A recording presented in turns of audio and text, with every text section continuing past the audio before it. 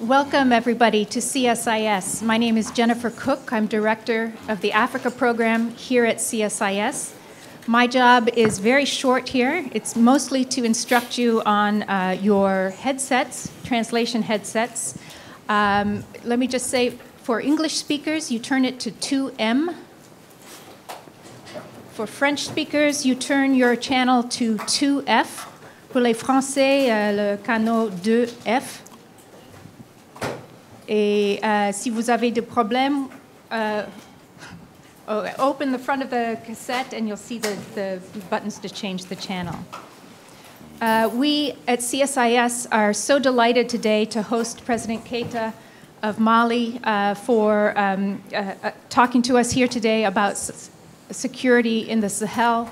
Um, I'm going to turn very quickly over to uh, Ambassador Mark Bellamy, who's a senior advisor here at CSIS, to make the introductions. I do want to say, too, we are we are uh, completely oversubscribed. There are those of you in the uh, overflow room. If you haven't gotten a headset and you're an English speaker, uh, you can go down to the overflow room where it, where it will all be transmitted in English. Um, so, again, this is a great honor and a great delight for us here at CSIS. And I'm going to turn over to Mark Bellamy. Thank you, Jennifer.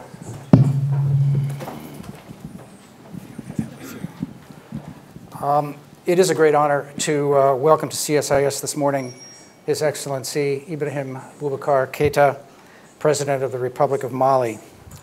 Mr. President, we are delighted uh, that in the midst of this very busy week in Washington, uh, you've agreed to join us today. And we're gratified by the very large uh, response to this event. So thanks to all of you in the audience this morning. Uh, I'd like to single out a couple of um, colleagues in, uh, in the audience today. Uh, Ambassador Mary Beth Leonard, U.S. Ambassador to Mali, thank you. Ambassador Leonard for helping us to put this program together a few weeks ago.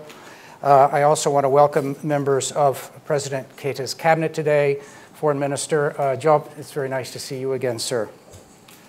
Our time is limited today, so I'm not going to try to set the scene for President Keita's remarks. Uh, this is an audience, Mr. President, uh, which I think is well aware of the difficulties Mali has encountered over the past two or three years. And they are here today to hear from you on the way forward in Mali on matters ranging from the restoration of security to reconciliation in the north to governance reform. Just a very brief biographic note. As many of you are aware, President Keita was elected president in July 2013 in a free and fair election marked by high voter turnout. Prior to that, President Keita had served in many public capacity, capacities over the years as prime minister, as foreign minister, as an ambassador, as a member of parliament, as a political organizer and political party leader, and as an academic. However challenging those positions were, I think it is fair to say, Mr. President, that the position you now occupy is unquestionably the most challenging of all. For Mali is well and truly at an historic turning point. President Keita has agreed to speak for, um, for several minutes.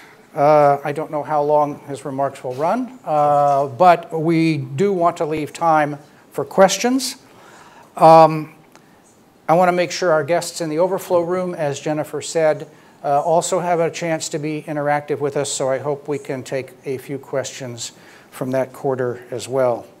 So thank you again, Mr. President, for joining us today, and welcome to CSIS. Thank you, Ambassador. Thank you, thank you, thank you. Um, if I understand, it's me now. Okay. C'est à vous, Monsieur le Président.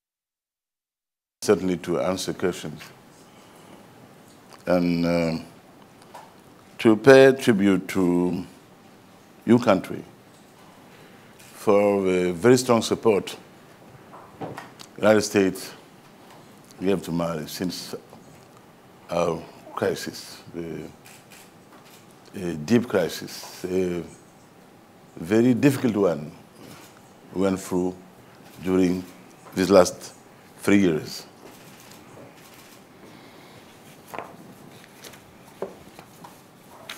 As I said, after these uh, few words in hard English, in French, I'm much more comfortable. Monsieur le Président du Centre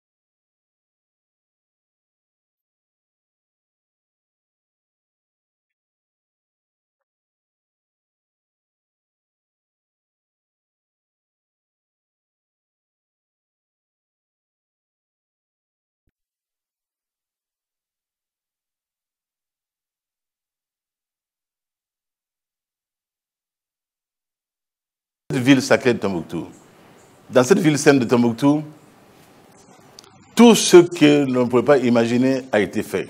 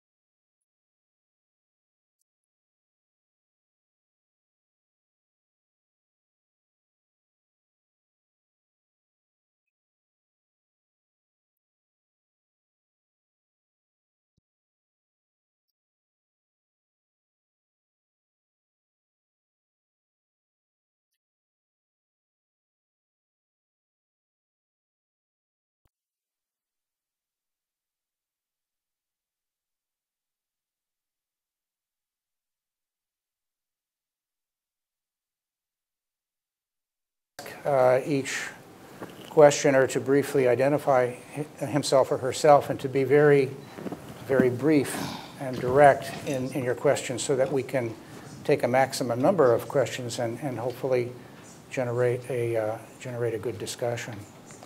I'd like to, if I may, Mr. President, start off with a question.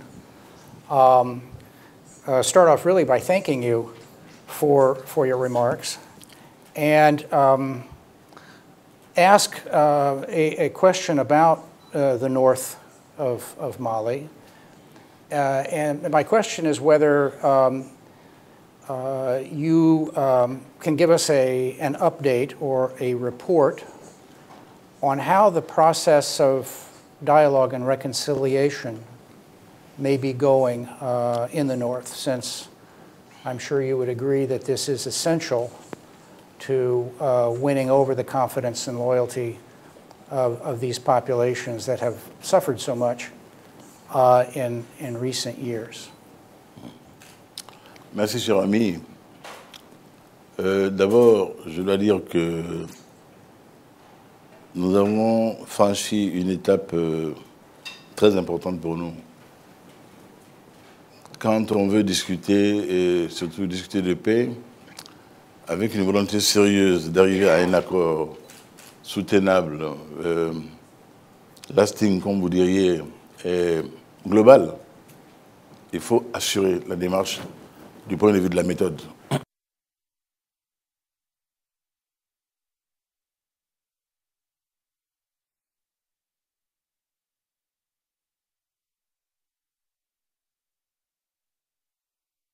De persévérance, beaucoup de sens du compromis, réussi. euh, nous devons féliciter le ministre Diop, ministre des Affaires étrangères qui conduisait la délégation du Mali au pourparler d'Alger, d'avoir eu beaucoup de patience pour que nous ayons réussi le 24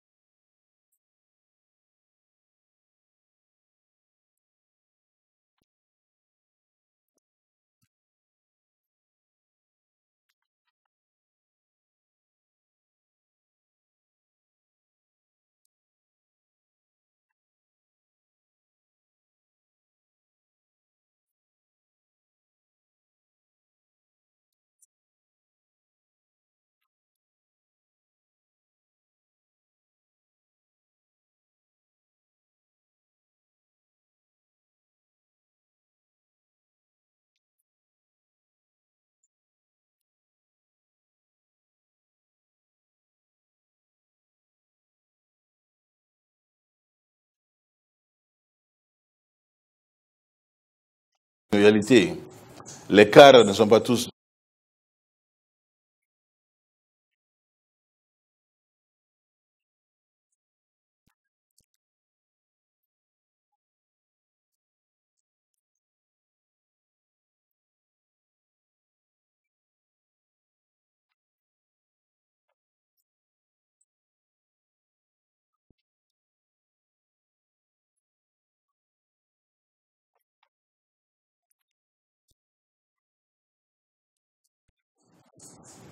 Non. Quand le chantier est attaqué constamment,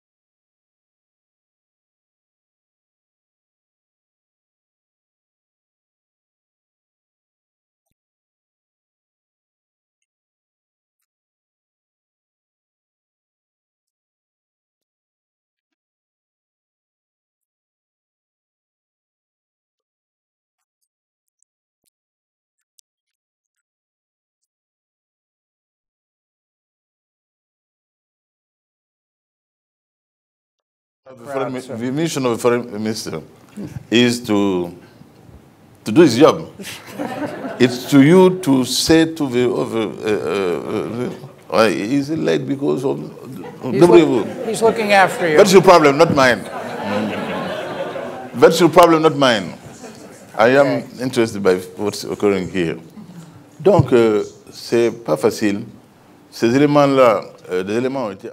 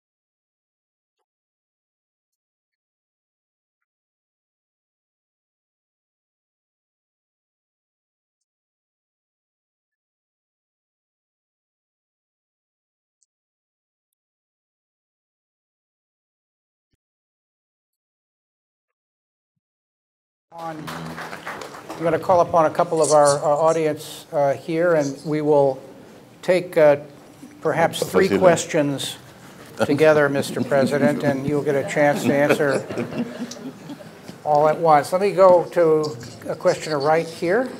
There's a microphone just behind you. Hello, I'm uh, Dr. Donna Wells. My question is Is the United States losing the media war in Africa? What is the African media saying about the United States? Thank you. Is the U.S. losing the media war? What is Africa saying about the United States? Okay, good question. And back here, you, sir, you could pass the microphone to the edge there. Thank you. My name is Nia Il va, il va bien compris la question de madame. Euh, okay. Est-ce que les États-Unis ne sont pas en train de perdre la guerre euh, médiatique en Afrique Qu'est-ce qu'on dit en Afrique au sujet des États-Unis Ah, l'image des États-Unis. Ouais, ouais. L'image des États-Unis. Ok. Deuxième question.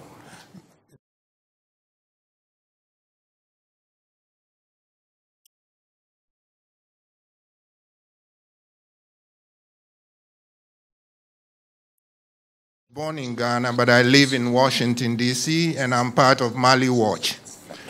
Um, my question is um, we understand that other communities, non Tuareg communities, were affected by the war and they have grievances. So, are they also getting the attention of the government, or is the government only dealing with the grievances of the Tuareg community?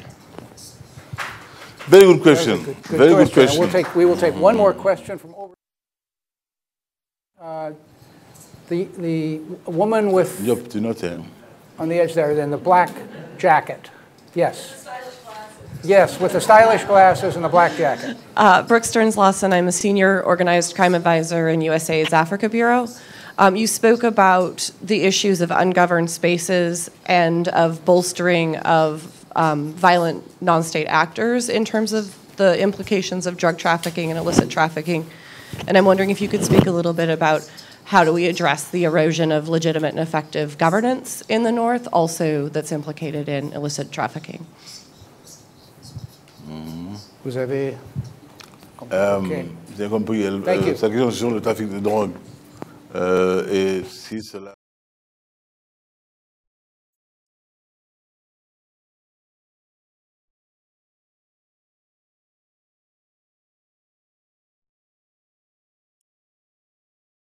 Première question, madame.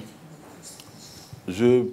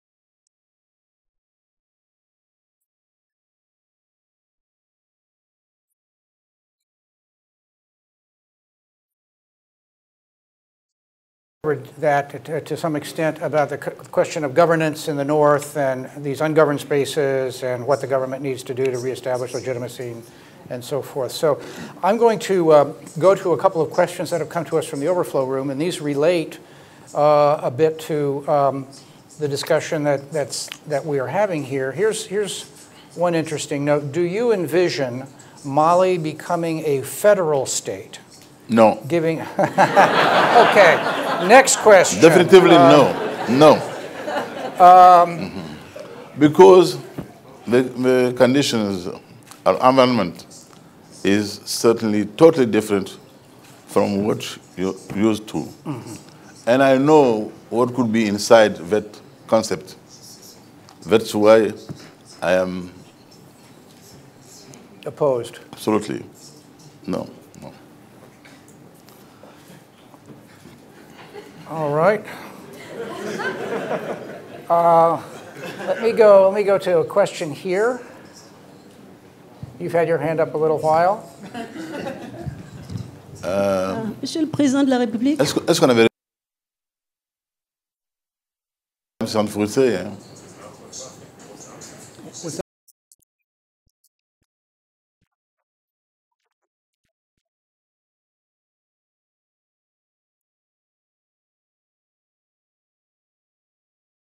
of addressing the implication of government officials in drug trafficking. Those government officials are Would you like to comment on that? Madame, Mr. cela a été le cas avant. C'est avec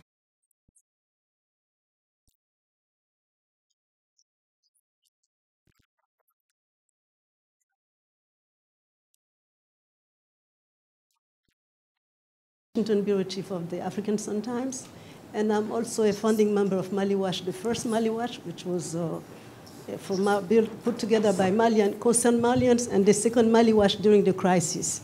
And here I'm holding a, a petition signed by Malians worldwide that I should enter the president.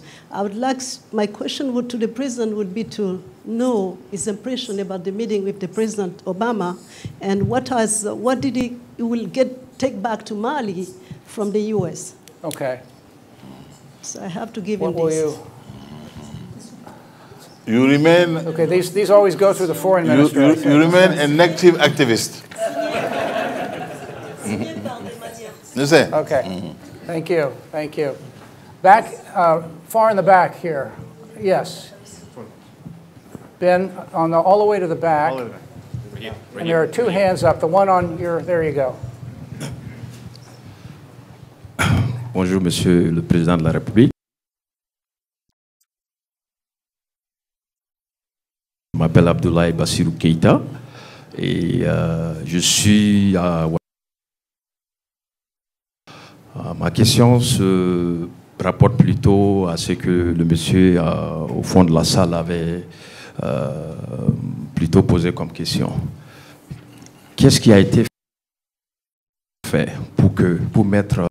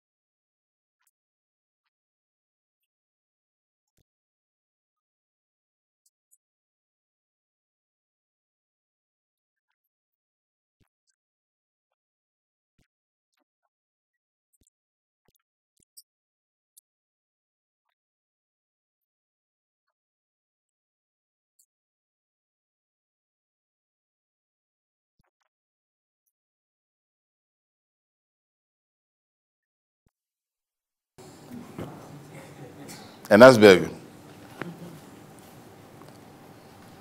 a volcano, volcano, volcano. I am, I am the head of a state. Um, things are not so easy. Sometimes you should, you should have the means of the politics you want to, to yeah. Eh, Et soyons patients. Soyons patients. Il a dit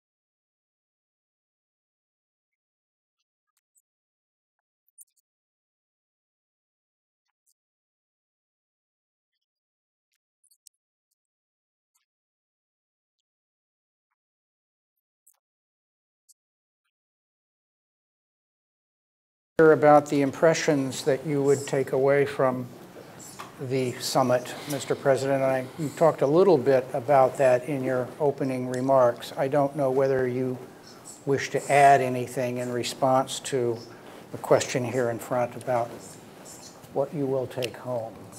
Euh, je voudrais retenir l'intérêt.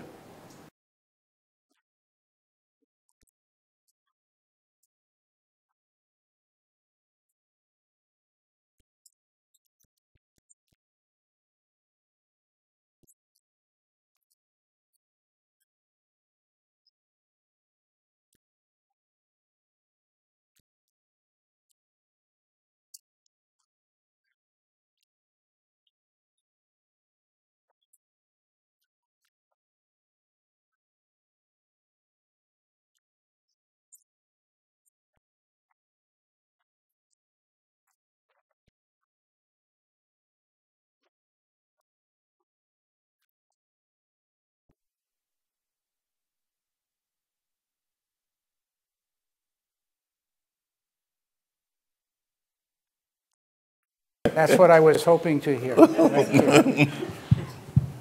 We'll take a question right here. Thank you. Good morning, Mr. President. My name is Vivian Lowery Derryck. I'm the, I have this NGO, Bridges, and we're the group that convened the second Mali Watch. And we worked um, for the restoration of democracy and the territorial integrity of Mali.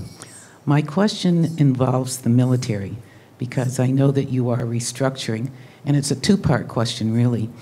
Um, in the training, is there an emphasis on civilian control of the military and on adherence to the Constitution? That's the first part of the question. And then, secondly, is there any effort to integrate women into the military? Because if women are integrated, then some of the sexual violence against women is somewhat mitigated. So I would appreciate it if you would um, just give us an update on what's happening in terms of military restructuring. Thank you. Thank you, Vivian.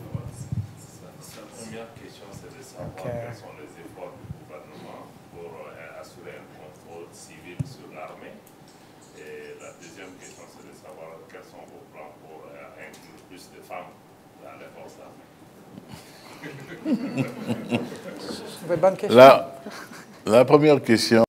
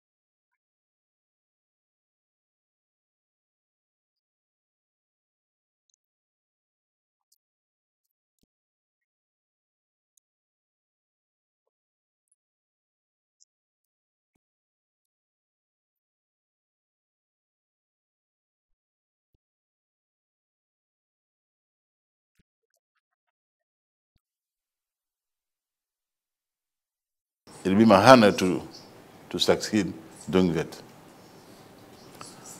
La deuxième question.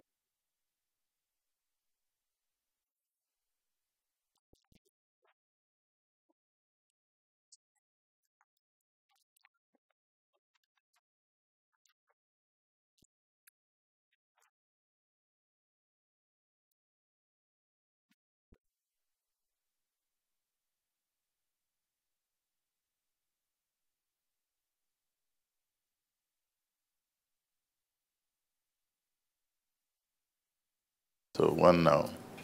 But many, many, many, many colonels, many um, other officers um, in uh, our different arms. Um, we don't have a marine troop because Mali is a landlocked country, totally landlocked.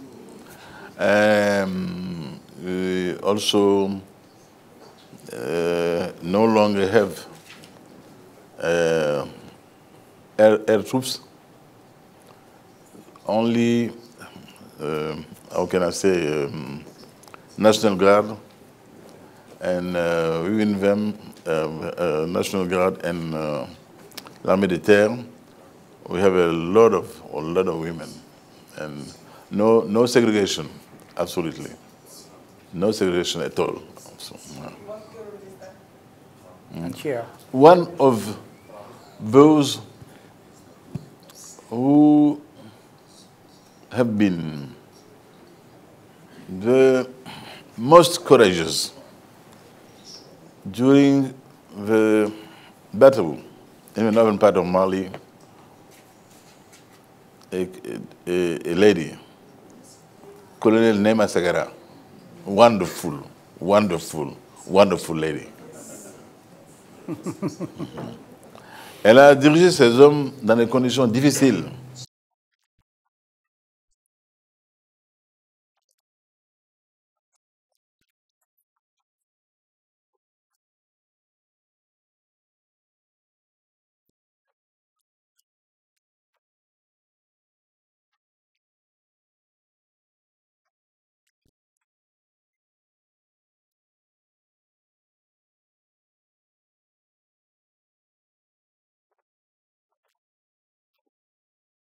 30% of the army. And you see, madam, to be, to, to, be, to, be, to be complete, to be complete, Madame Michelle Obama a honoré la femme malienne.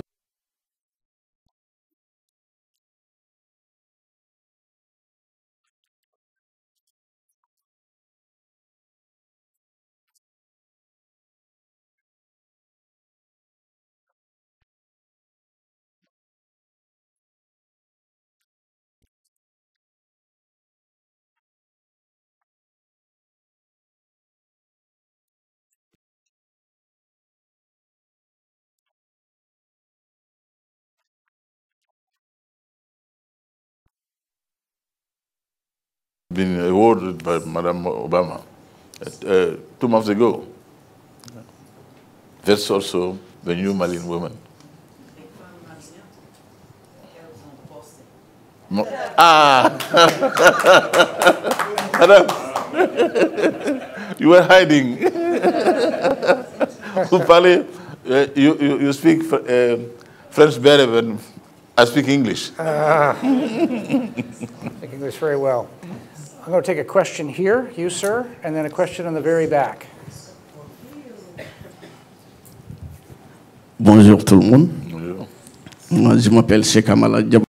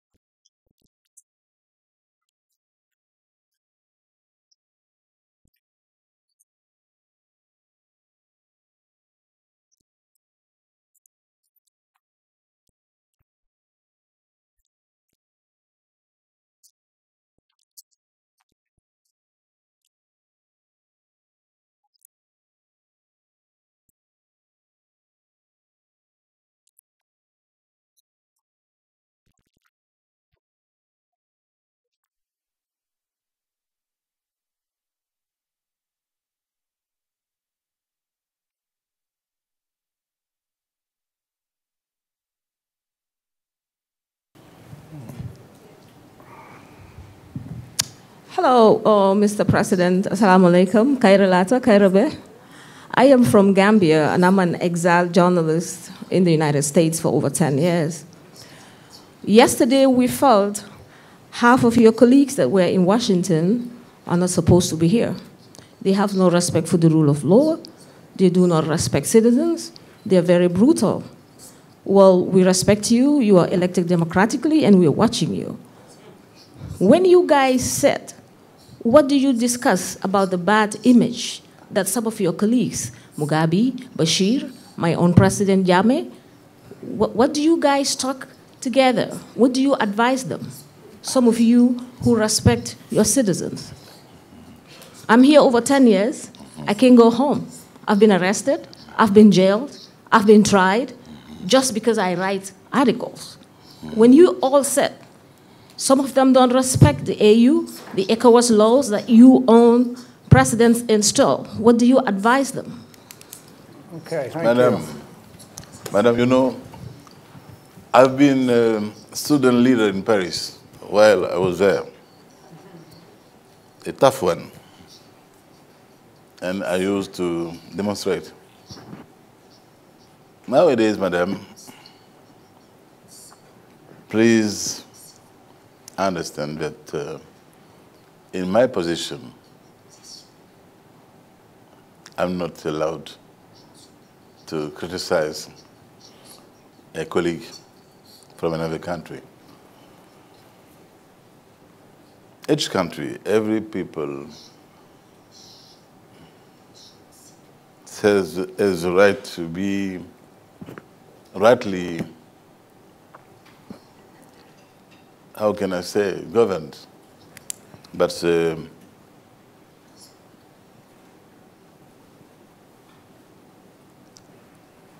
I understand you. I understand you. And be sure I remain the student leader I've been.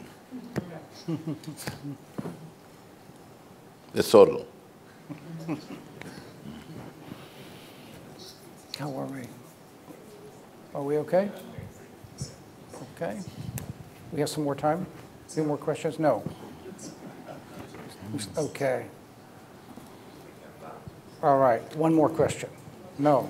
All right. Okay. Um, Well, Mr. President, I- I'm sure that this, you can tell by the number of hands that there are still many questions out here in this audience.